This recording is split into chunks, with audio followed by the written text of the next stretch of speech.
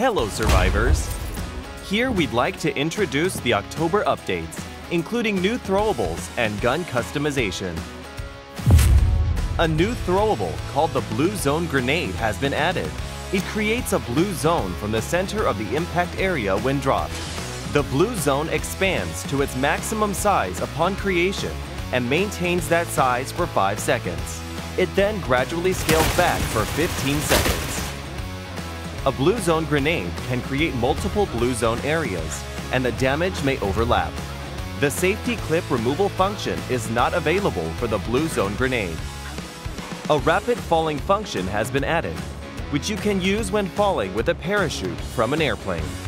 When you use this function while falling, your character will fall vertically on the spot at high speed.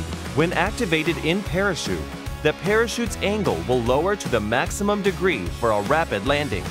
A parachute gliding function has been added to allow further flying. You can use this function in parachute, and it will lose speed to glide further. You can use these newly added functions at first falling and self-redeployment. However, they are not available when you are revived via a green flare gun. A dedicated laser grip will be added as a C2 Custom for the AK Alfa. In C2 Custom, it not only facilitates vertical recoil control, but also increases deviation control when hip fired and shouldered. However, it also decreases aiming speed and makes the grip slot unavailable.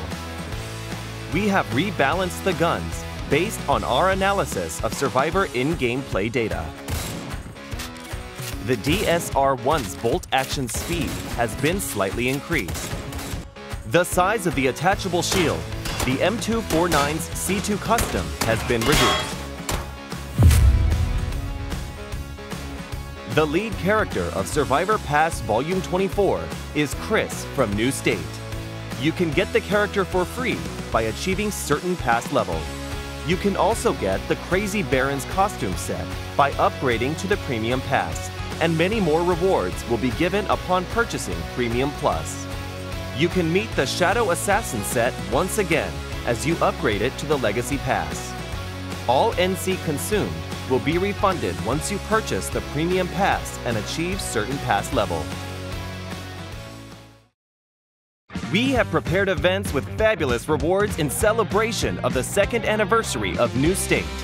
Don't forget to join the upcoming second anniversary events and claim all the rewards. We hope for your continued support and love. Thank you, survivors. Thanks for watching, and we'll see you at the new Battlegrounds.